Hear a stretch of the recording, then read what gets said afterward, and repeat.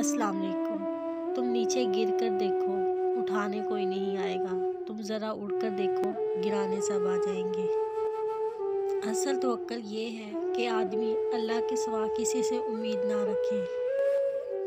लोग इस वक्त आप पर यकीन करना शुरू कर देंगे, जब आपको खुद अपने ऊपर यकीन पैदा हो जाएगा।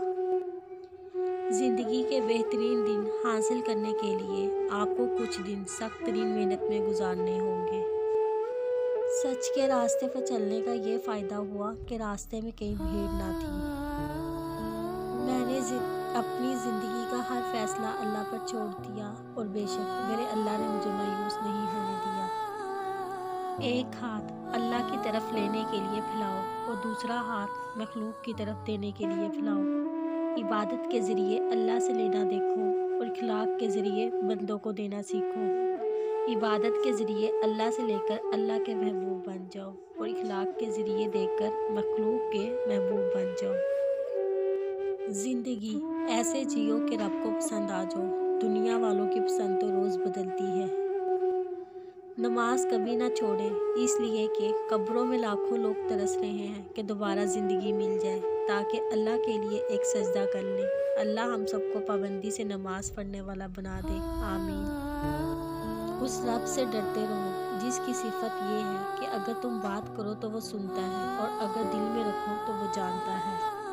अल्लाह को भूल गए लोग फ़िक्र रोज़ी में। तलाश जिसकी है, राज़ी का ख्याल ही नहीं। ये औकात है तेरी और तेरी। फिर ये तकबर क्यों? ये हसद और नफ़रतें क्यों? हर वक्त एक दूसरे को नुकसान पहुँचाने की तदबीरें क्यों?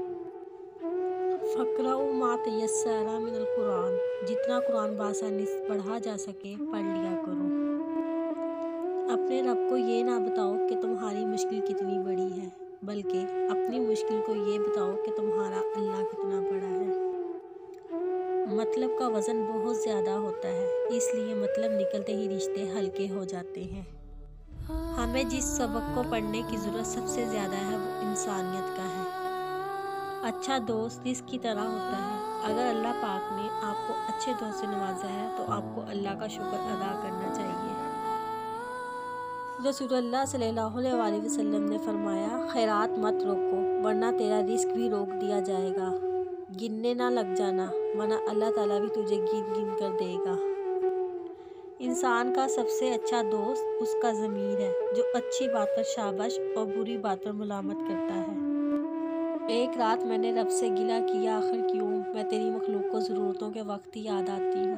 गैप से आवाज़ आई, प्यासे भरे हुए घड़े के पास ही आते हैं। खाली घड़ा सिर्फ़ ठोकरों के लिए ही होता है।